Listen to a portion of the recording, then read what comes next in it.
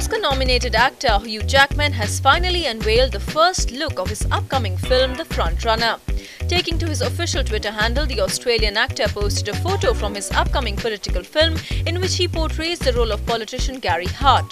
He captioned the snap, Day 1 Principal Photography, The Frontrunner. In the photo, Jackman can be seen portraying politician Gary Hart, who was once considered the frontrunner for the 1988 Democratic presidential nomination until his bid fell apart after allegations of an affair with Donna Rice. The movie will adapt Matt Bai's 2014 book, All the Truth Is Out The Week Politics Went Tabloid, chronicling Hart's rise and fall.